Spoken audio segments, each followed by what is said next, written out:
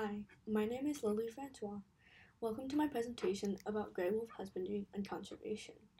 Over the summer of 2021, I was an animal care and education intern at the California Wolf Center. The CWC is a 501c3 nonprofit organization located in Julian, California. Their mission is dedicated to the return of wild wolves to their natural habitat and to the people who share the landscape with them. They achieve this mission in many ways, such as conservation through multiple programs, education, in which they provide educational programs to the public, and research.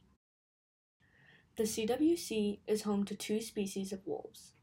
The first resident is the northwestern gray wolf, and this is the species of wolves that were a part of the major reintroduction program for Yellowstone National Park in the 1990s. They can be found in many locations of North America and their current conservation status depends on the location of the packs. This is the case because of recent conservation policies. The second resident species is the Mexican gray wolf, aka El Lobo. They inhabit the southwest area of the United States and Mexico. Mexican gray wolves are an endangered species and have an active recovery plan. The gray wolf is known as a keystone species and their presence or lack of can have many impacts on the ecosystem. A great example of wolves' impact on the ecosystem is Yellowstone National Park. As seen in the diagram, wolves impact many species that can be found in Yellowstone. In the late 1800s, as the U.S. was expanding, wolves started to disappear due to a government led predator extermination. With wolves removed, this allowed the elk populations to grow exponentially. In turn, with high populations, the aspen tree population fell, as elk feed on the young trees.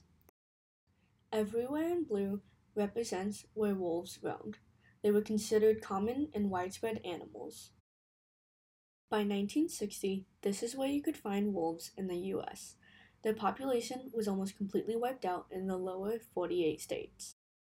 Through protections and reintroductions, wolves have made a comeback in multiple areas of the U.S. The current population of wolves in the lower 48 states is estimated to be about 6,500 individuals. The areas in blue are where they are found now.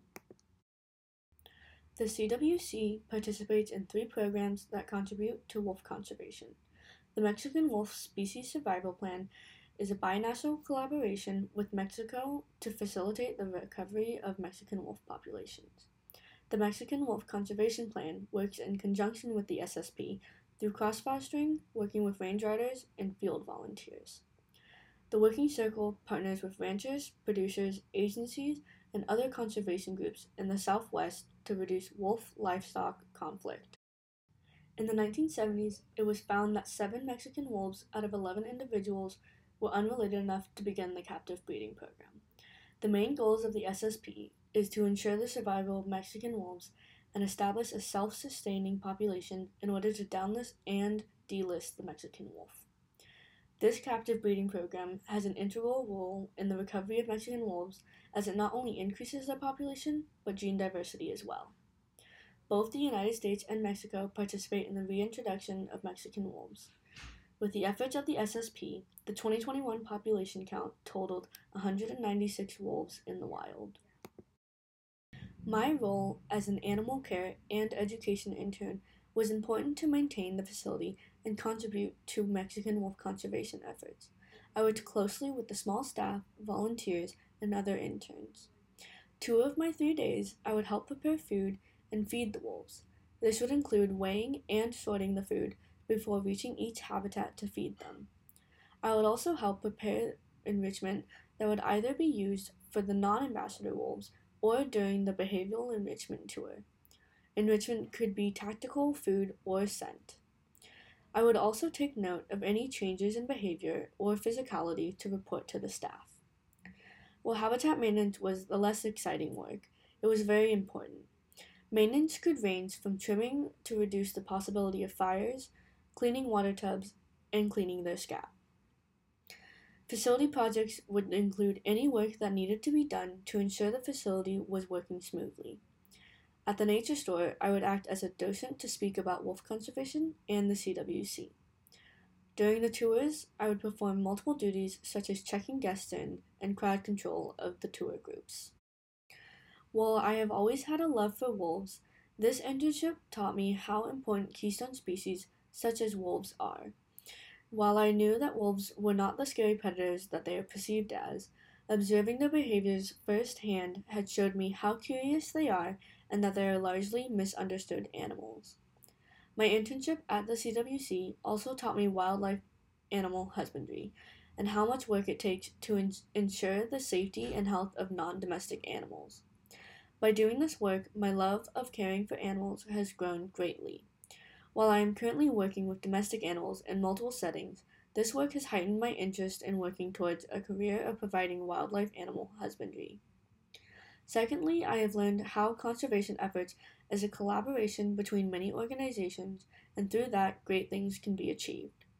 On top of increasing my interest in wildlife husbandry, I have also learned that I would like to work in conservation as I believe it is important to preserve the animals and ecosystems that inhabit our Earth. Lastly, this internship has allowed me to gain important public speaking skills and become more comfortable and confident when speaking to the public. This internship had challenged me in physical ways, allowed me to expand my knowledge, and grow as a person. You can also contribute to the conservation of wolves. If you have the chance and are in the San Diego County area, you can visit the center or other conservation centers throughout the country. This is a great way to observe the curiosity of the wolves firsthand. You can also contribute by donating to the CWC or other organizations. This is a great way not only to support their conservation, but also directly help in taking care of the wolves. Lastly, learning more about the efforts of conserving the wolf populations and helping in the fight is an excellent way to contribute. Here I have listed some extra resources to learn more about wolf conservation and Mexican gray wolf recovery. Thank you for joining me and learning about wolf conservation. The Wolves of the California Wolf Center would also like to thank you.